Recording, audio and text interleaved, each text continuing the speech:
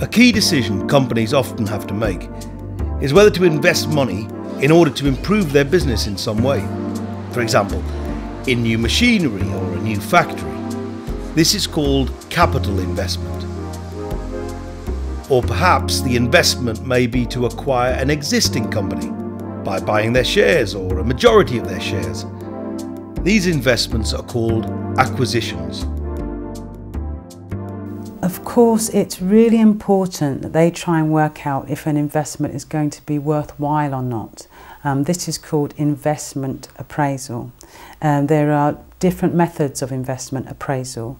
And one of the things they look at is how soon will the cost of an investment be paid back. This is really important because in business, time is money. There are three main ways of appraising an investment. One is to calculate payback, how quickly the cost of the investment will be paid back. The longer the payback time, generally, the higher the risk. Another method is called accounting rate of return. This measures the expected profitability of the investment.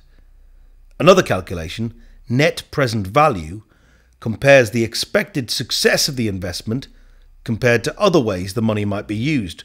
For example, putting it on deposit in a bank at a specific interest rate. A calculation called discounted cash flow is used for this.